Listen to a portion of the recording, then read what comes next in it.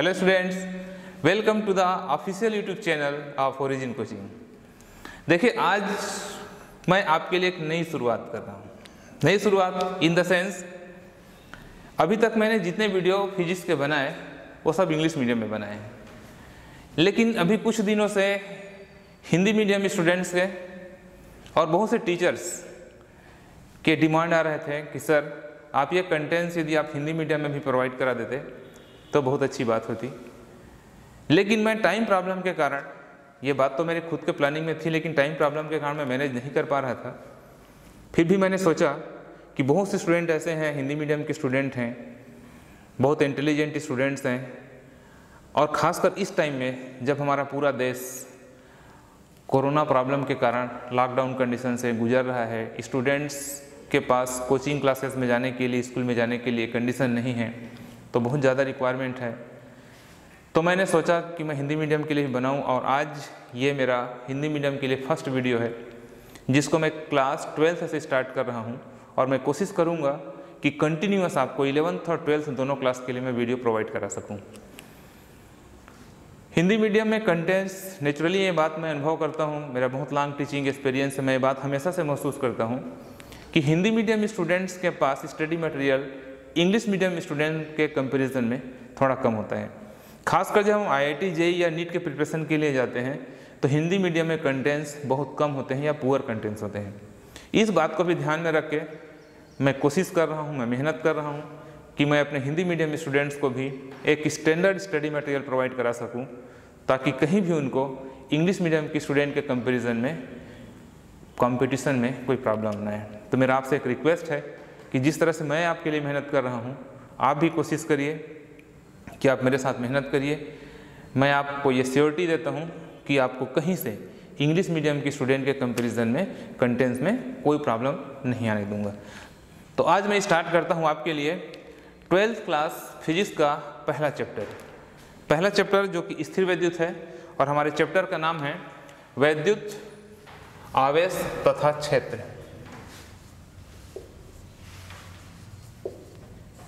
वैद्युत, आवेश तथा क्षेत्र। साथ ही मेरा हिंदी मीडियम स्टूडेंट्स को एक सजेशन है कि आप हिंदी मीडियम की स्टूडेंट्स हैं, लेकिन आप कोशिश करिए कि आपको कम से कम हमारे साइंस के सब्जेक्ट के जितने टेक्निकल वर्ड्स हैं, वो टर्मिनोलॉजी, वो शब्द आपको इंग्लिश में भी आने चाहिए। क्योंकि आफ्टर ट्वेल्थ क्लास जब आप हायर एजुकेशन के लिए जाएँगे तो आपके लिए एक बड़ा प्रॉब्लम हो जाएगा कि यदि आप टर्मिनोलॉजी को इंग्लिश में नहीं समझेंगे तो बहुत प्रॉब्लम होगा। इसलिए मैं अपने सभी वीडियो में कोशिश करूँगा कि कम से कम जो टर्म्स यूज़ होते हैं, जैसे यहाँ पर मैंने टर्म यूज़ किया है वैद्युत तो आपको पता होना चाहिए इसको इलेक्ट्रिसिटी कहते हैं। आवेश को हम चार्ज कहते हैं। तो पूरी टर्मिनोलॉजी मैं इंग्लिश में प्रोवाइड कराऊँगा और आपको, आपसे मेरा रिक्वेस्ट भी है कि आप उससे भागें मत। आप हिंदी के साथ साथ इंग्लिश टर्मिनोलॉजी को भी शुरू से ध्यान दीजिए। तो हमारे चैप्टर का इंग्लिश में नाम क्या हो जाएगा? Electric charge electric charge and field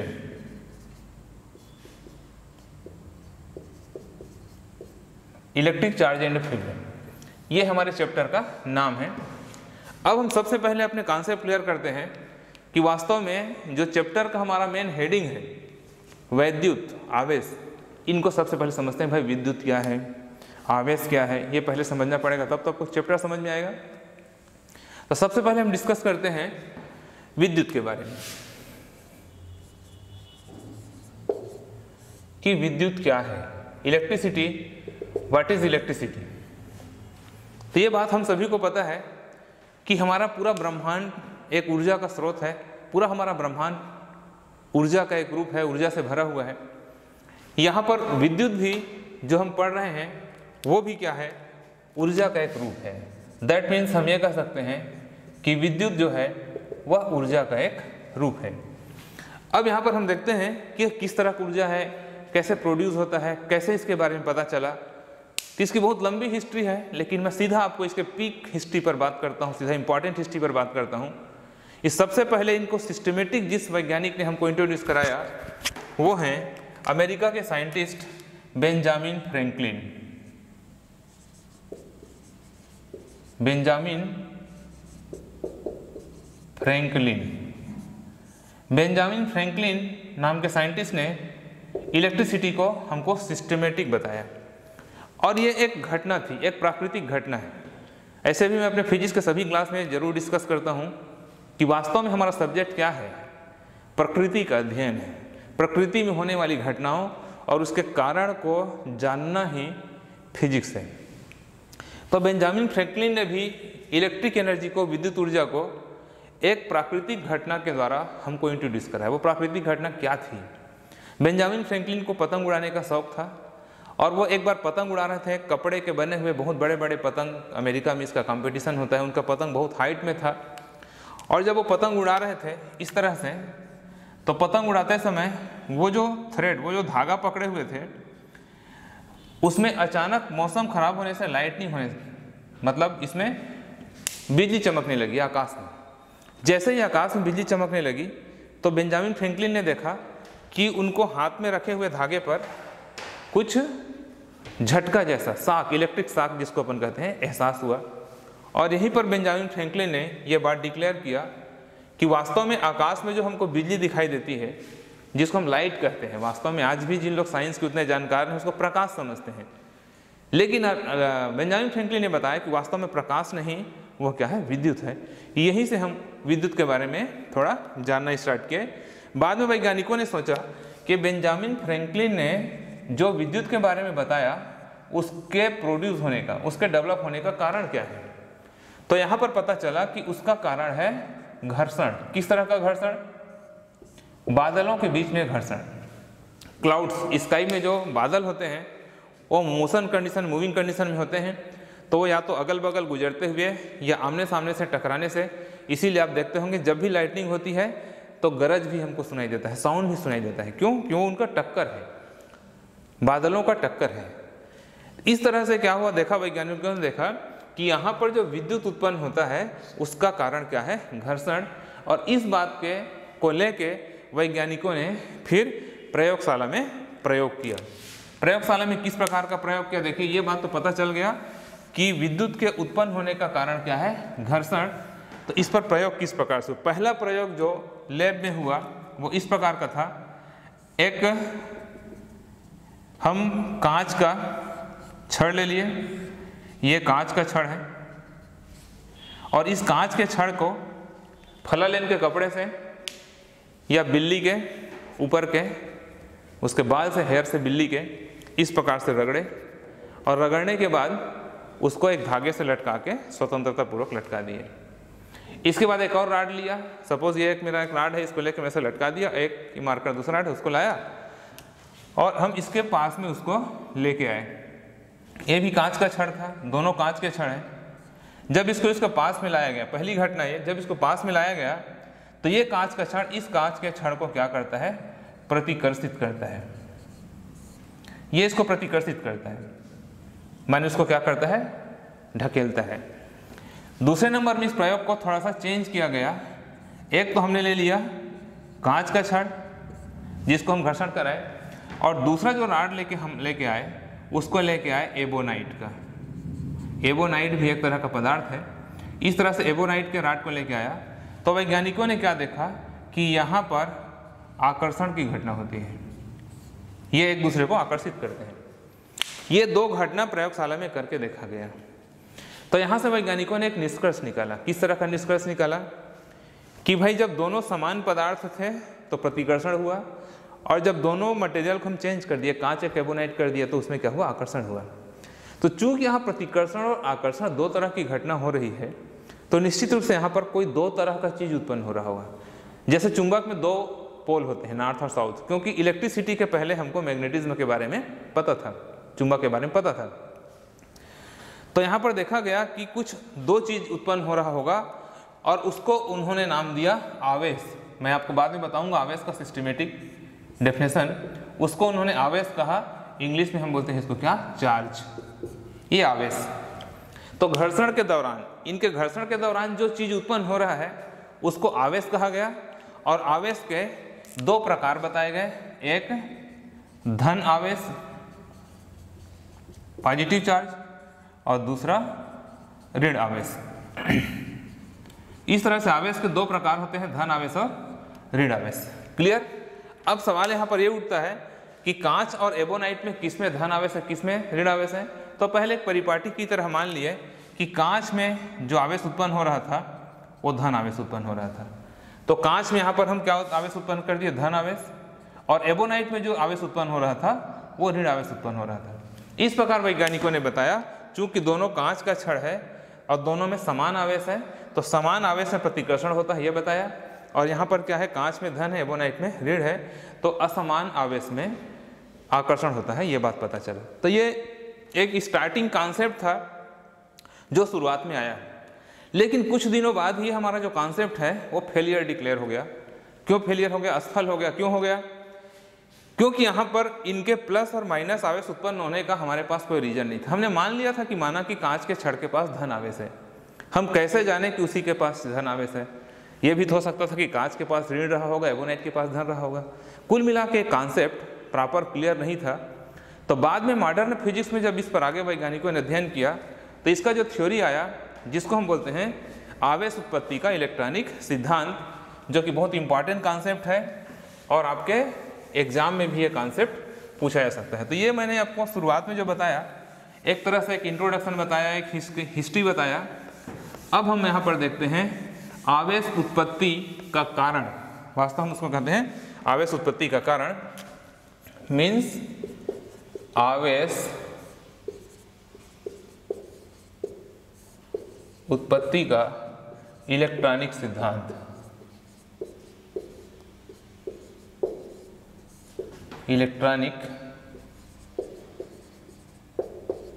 सिद्धांत। इलेक्ट्रॉनिक थ्योरी ऑफ़ चार्ज ये मॉडर्न थ्योरी है। इस थ्योरी के बाद आपको पता चल जाएगा कि वास्तव में घर्षण के कारण आवेश क्यों उत्पन्न हो रहा है। तो यहाँ पर देखिए, यहाँ पर हम इमेजिन करते हैं, कल्पना करते हैं कि सपोज़ ये एक पदार्थ है और ये एक दूसरा पदार्थ है। ये अलग अलग पदार्थ के एटम हैं। ये उसके कण हैं, अणु हैं इसके। दो अलग अलग पदार्थ हैं ये। अब क्या किया गया? इन दोनों के बीच में क्या कराया गया? घर्षण। इनके बीच में जब घर्षण कराया दोनों के बीच में तो घर्षण कराने से क्या होता है? इनको वाह ऊर्जा प्राप्त होता है। क्योंकि जब भी हम फ्रिक्शन करते हैं, घर्षण करते हैं तो वहाँ पर जो इलेक्ट्रॉन होते हैं, वो एक्सटर्नल एनर्जी वाह ऊर्जा प्राप्त करते हैं और उत्तेजित अवस्था में आ जाते हैं।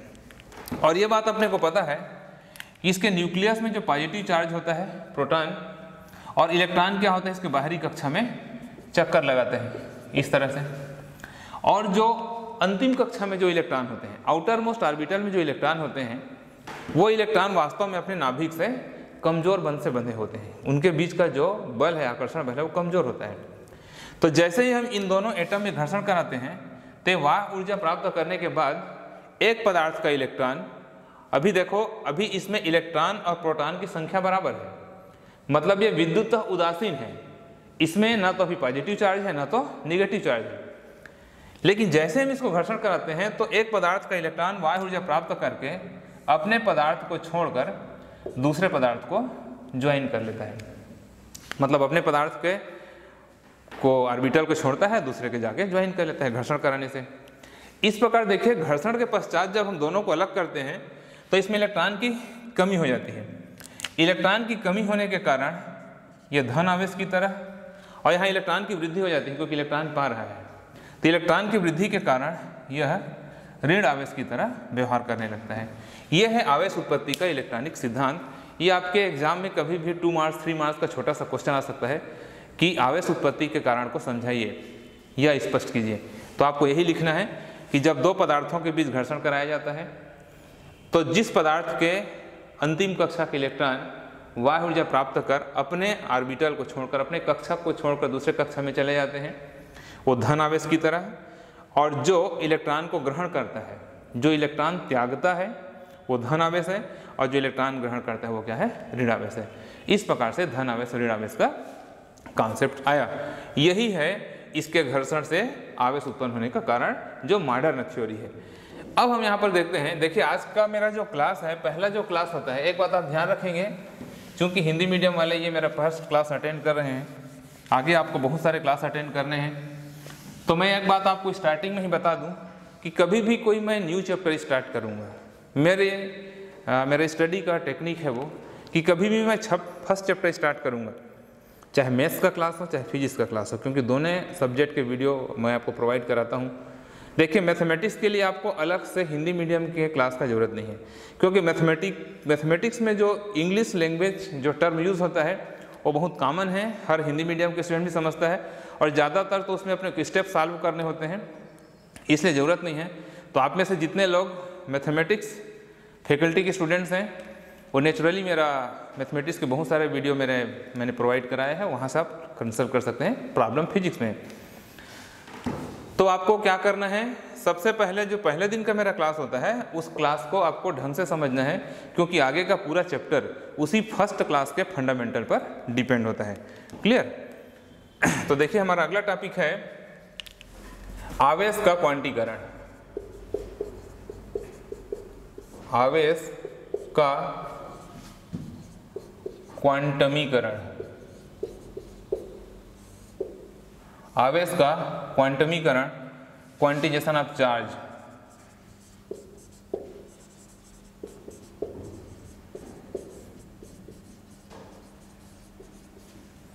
आवेश का क्वांटीकरण एक छोटा सा लेकिन बहुत महत्वपूर्ण सिद्धांत है। ये आवेश का क्वांटीकरण क्या होता है देखिए। आवेश का क्वांटीकरण का स्टेटमेंट है, इसका कथन है Q equal to N into E ये इसका फार्मूला है। जहाँ पर Q क्या है? किसी पदार्थ पर कुल आवेश की मात्रा है। कुल आवेश है किसी भी पदार्थ पर। N क्या है? एक पूर्णांक है। पूर्णांक का मतलब plus minus one plus minus two integer बोलते हैं जिसको इंग्लिश में। और E है एक इलेक्ट्रॉन एक इलेक्ट्रॉन पर आवेश का मान, जो कि होता है 1.6 point six into ten to the power minus nineteen coulomb ये। तो आवेश का क्वांटीकरण का फार्मूला है। अब ये इसको हम कह, किस तरह से कह सकते हैं? देखिए किसी पदार्थ पर किसी पदार्थ पर आवेश की कुल मात्रा ये आवेश की कुल मात्रा है। उस पदार्थ पर उपस्थित एक इलेक्ट्रॉन के आवेश का पूर्ण गुणज होता है। ये गुणज है मतलब उसका गुणा हो रहा है पूर्णांक गुणज होता है। कहने का मतलब इसको मैं इजी लैंग्वेज में बोलूँ इसका मतलब क्या है कि किसी भी पदार्थ पर जो कुल आवेश होगा, वो इलेक्ट्रॉन का पूर्ण गुणज होगा। मतलब उसको हम विभाजित नहीं कर सकते। हम ऐसा नहीं कर सकते कि इस पदार्थ में सात बटे दो इलेक्ट्रॉन है। वो रहेगा तो सात, नहीं तो आठ, नहीं तो नौ। साठ बटे दो नहीं हो सकता। माने उसको विभाजित नहीं किया जा सकता। ये हम उसको एक कॉमन लैंग्वेज में, आपको इजी लैंग्वेज में बता रहे हैं कि किसी भी पदार्थ पर आवेश की जो कुल मात्रा है, उसके एक इलेक्ट्रॉन पर आवेश का पूर्ण गुणज होगा। फॉर एग्ज़ाम्पल कि किसी पदार्थ पर जो आवेश है, किसी पदार्थ पर जो आवेश है, वो प्लस माइनस वन ई होगा या प्लस माइनस टू ई होगा या प्लस माइनस थ्री ई होगा प्लस माइनस फोर ई होगा मतलब पूर्णांक में होगा। ये तो कहलाता है आवेश का क्वांटीकरण। लेकिन मैं आपको एक इंपॉर्टेंट बता दूँ रिसेंटली अभी कुछ सालों पहले ही अमेरिका के वैज्ञानिकों ने कुछ ऐसे पदार्थ, कुछ ऐसे इलेक्ट्रॉन पाया है, जो क्या होता है, भिन्नात्मक रूप में होता है जिसका नाम दिया गया है क्वार्क। ये आपको एक जनरल नॉलेज की तरह मैं बता रहा हूँ। एग्ज़ाम में आएगा तो आपको इसी बात को लिखना है। ये अपवाद है। अपवाद तो नहीं कह सकते, वो फैक्ट मिल चुका है। अभी रिसेंटली मिला है, उसको हम क्वार्क कहते हैं। क्यू यू ए आर के और क्वार्क हमको दो मिला है। एक plus minus one upon three E और दूसरा मिला है plus minus two upon three E ये दो तरह के क्वार्क मिले हैं, जिसमें से प्लस वन अपॉन थ्री को अप क्वार्क का माइनस टू अपॉन थ्री को, डाउन क्वार्क भी कहा जाता है, ठीक है? तो ये क्वार्क कहलाता है, ये आप अलग से ध्यान रखेंगे।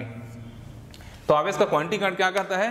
किसी पदार्थ पर आवेश की कुल मात्रा, उस पदार्थ पर उपस्थित एक इलेक्ट्रॉन पर आवेश का पूर्ण गुणज होता है। क्लियर फॉर एग्ज़ाम्पल यहाँ पर एक छोटा सा न्यूमेरिकल मैं आपको बता दूँ कि जैसे वन कुलाम चार्ज पर suppose Q equal to one coulomb charge है तो वन कुलाम चार्ज पर नंबर ऑफ़ इलेक्ट्रॉन कितना होगा? ये आपका एग्ज़ाम में आ भी सकता है ये क्वेश्चन एक न्यूमेरिकल बता रहा हूँ, छोटा सा. इस पर छोटे छोटे न्यूमेरिकल्स बनते हैं, दो नंबर तीन नंबर के एग्ज़ाम में आते हैं. कॉम्पिटेटिव एग्ज़ाम में भी आते हैं. क्वेश्चन मैंने क्या बताया? यदि किसी पदार्थ पर एक गुलाम आवेश है तो उस पर उपस्थित इलेक्ट्रॉनों की संख्या कितनी होगी? तो किस तरह से कैलकुलेशन होगा? यहाँ पर इस फार्मूला को हम एन के लिए सॉल्व कर दें तो क्या लिख सकते हैं? N equal to Q upon E लिख सकते हैं। ई e को इधर पक्षांतर कर दें N equal to Q upon E हो जाएगा। दैट इक्वल इसको सॉल्व कर दें। तो कितना कुलाम आवेश है पदार्थ में? One coulomb. तो वन अपान एक इलेक्ट्रॉन पर आवेश हमको पता होता है।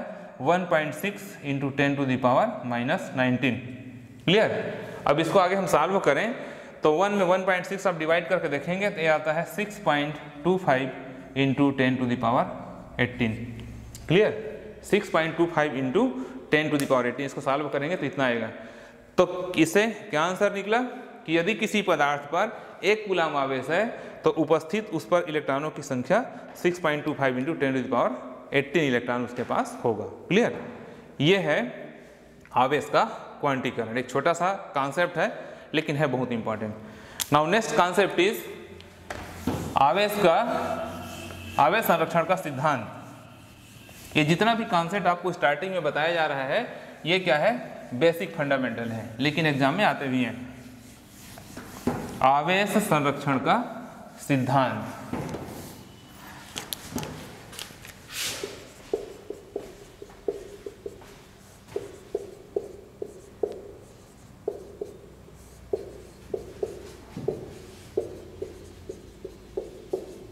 आवेश संरक्षण का सिद्धांत। आपने ऊर्जा संरक्षण का सिद्धांत का नाम सुना होगा। ऊर्जा संरक्षण के सिद्धांत को आपने क्या पढ़ा है? ऊर्जा न तो कभी उत्पन्न किया जा सकता, न उसे नष्ट किया जा सकता, केवल ऊर्जा के रूप को बदला जा सकता है। क्लियर मतलब ऊर्जा का केवल रूप बदला जा सकता है। उसी प्रकार से आवेश संरक्षण का सिद्धांत क्या कह क्या कहता है कि आवेश को न तो उत्पन्न किया जा सकता, न तो नष्ट किया जा सकता। ठीक है? तो फिर क्या होता है ये? एक पदार्थ से दूसरे पदार्थ में स्थानांतरित होता है। मतलब यदि इसको हम टू दी पॉइंट कहें तो किसी विलगित निकाय पर, किसी, ये शब्द आप याद रखना, किसी विलगित निकाय। विलगित निकाय का मतलब होता है ऐसा निकाय आइसोलेटेड सिस्टम जो आवेश उत्पन्न करने के लिए ज़रूरी होता है। तो किसी विलगित निकाय का कुल आवेश, किसी विलगित निकाय का कुल जो आवेश होता है वह हमेशा क्या होता है? नियत होता है। किसी विलगित निकाय का कुल आवेश नियत होता है। जैसा कभी आपने आवेश उत्पत्ति के सिद्धांत में देखा कि जब दो पदार्थों का घर्षण कराया गया तो एक इलेक्ट्रॉन एक पदार्थ से निकल के दूसरे पदार्थ में चला गया। कुल मिलाकर उनके पास इलेक्ट्रॉनों की संख्या नियत है। ना एक ने दिया, एक ने पाया, लेकिन कुल मिलाकर तो उतना ही है। तो आवेश संरक्षण का सिद्धांत क्या कहता है? किसी विलगित निकाय का कुल आवेश सदैव क्या होता है? नियत होता है। दैट मीन्स हम इसको कह सकते हैं? आवेश न तो उत्पन्न हो रहा है, ना तो नष्ट हो रहा है। किसी सिस्टम पर आवेश का सिस्टम पर ना, क्योंकि एक दे रहा है, एक ले रहा है। दोनों मिलाकर सिस्टम कहलाएँगे। विलगित निकाय कहलाएँगे? उनका आवेश नियत होता है। तो एक लाइन का कॉन्सेप्ट है, और ये एग्ज़ाम में कभी भी वन मार्क्स टू मार्क्स का क्वेश्चन आता है। ये हुआ इसका बेसिक फंडामेंटल इसके बाद इसका जो मैथमेटिकल स्टडी स्टार्ट होता है, वह है गुलाम के नियम से। तो आज हम पढ़ते हैं गुलाम का नियम, जो कि इस चैप्टर का सबसे इंपॉर्टेंट टॉपिक है। उसके बाद आगे का जितना भी इसका स्टडी होगा, वो गुलाम के नियम पर बेस्ड होगा। क्लियर तो विद्युत आवेश संबंधी गुलाम का नियम। कुलाम्स क्लियर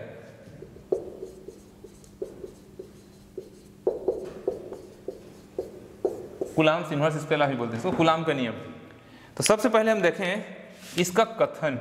जब आपको एग्ज़ाम में लिखना होगा तो सबसे पहले आपको इसका कथन लिखेंगे। कथन वर्ड टू वर्ड आपको लिखना है, जैसे गुलाम ने बताया था।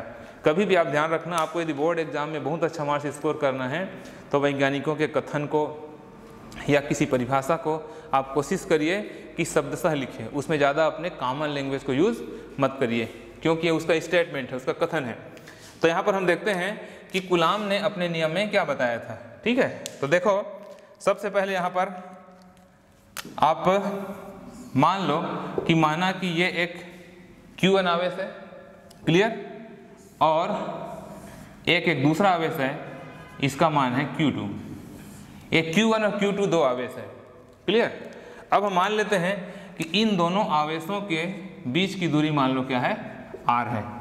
R दोनों के बीच की दूरी है और इन दोनों के बीच में लगने वाला जो बल है, या तो आकर्षण भी हो सकता है या प्रतिकर्षण भी हो सकता है। क्योंकि दोनों आवेश यदि समान आवेश होंगे तो प्रतिकर्षण होगा और असमान आवेश होंगे तो आकर्षण होगा।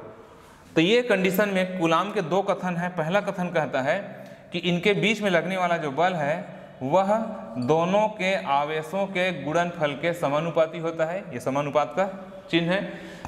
और दूसरा नियम कहता है, एफ़ समानुपाती वन अपान आर स्क्वायर, जिसको हम व्युत्क्रमानुपाती भी कह सकते हैं।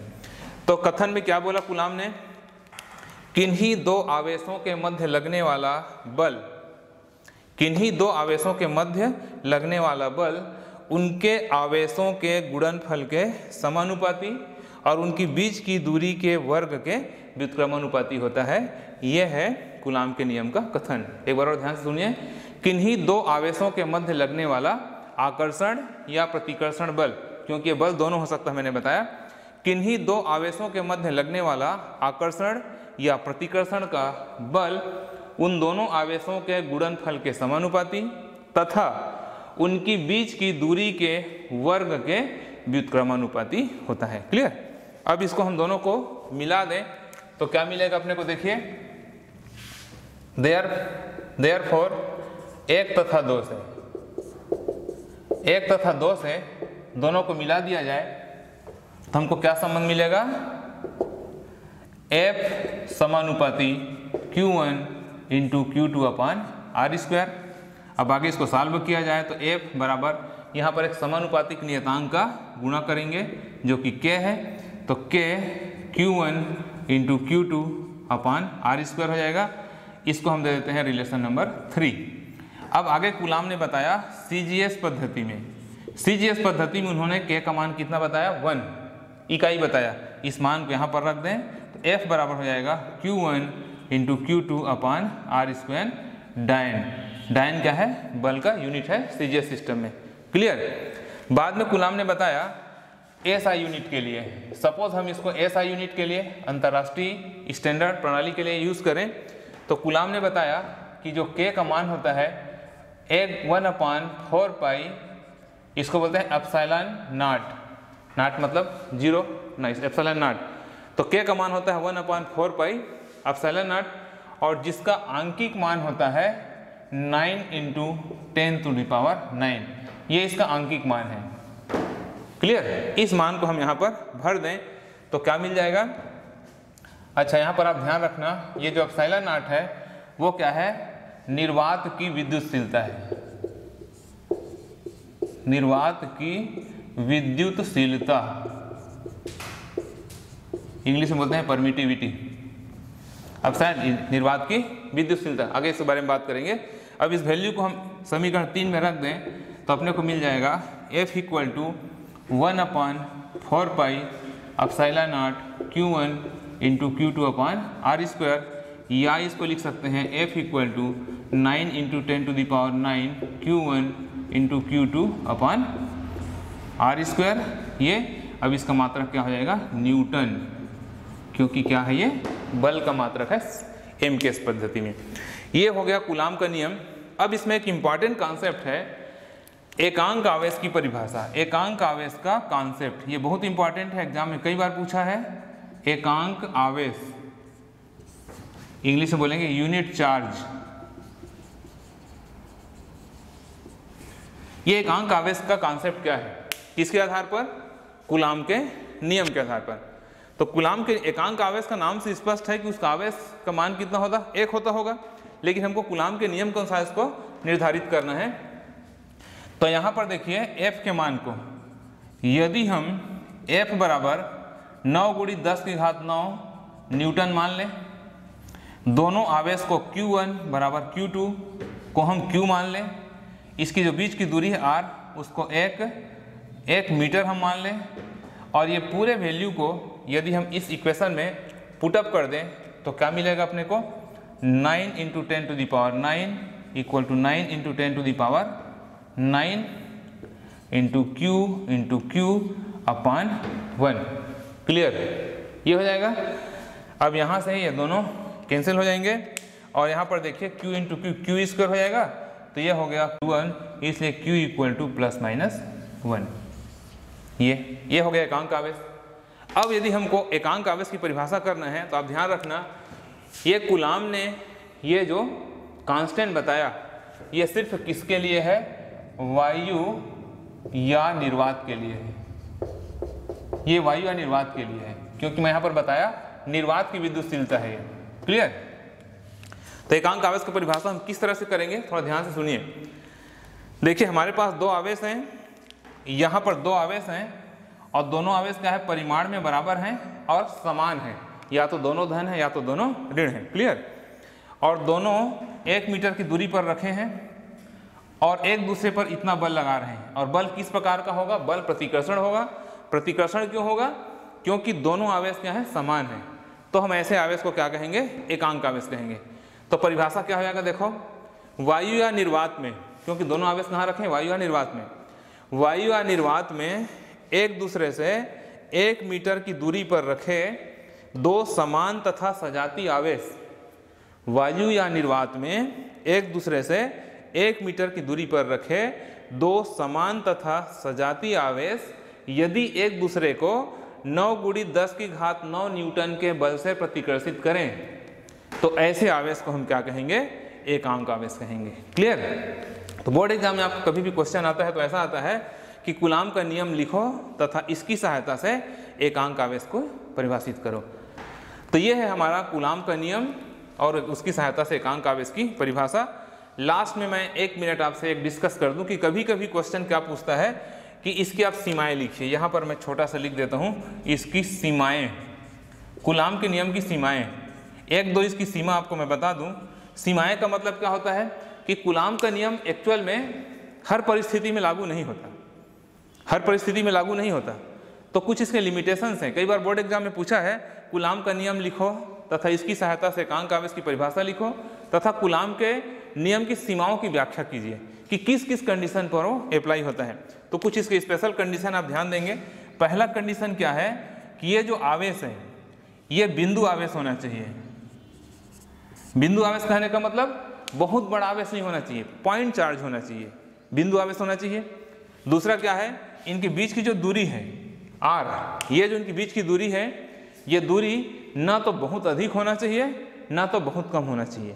बहुत अधिक रखेंगे तो भी ये नियम लागू नहीं होगा। और बहुत कम near about 10 to the power minus fifteen metre से कम पर यह अप्लाई नहीं होता। 10 to the power minus fifteen metre से कम पर यह लागू नहीं होता।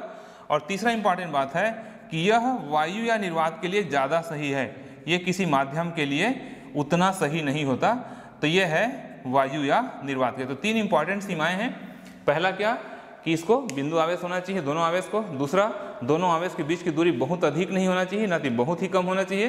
तीसरा, यदि ये दोनों आवेश वायु या निर्वात में रखे गए हों तो ये ज़्यादा सही काम करता है।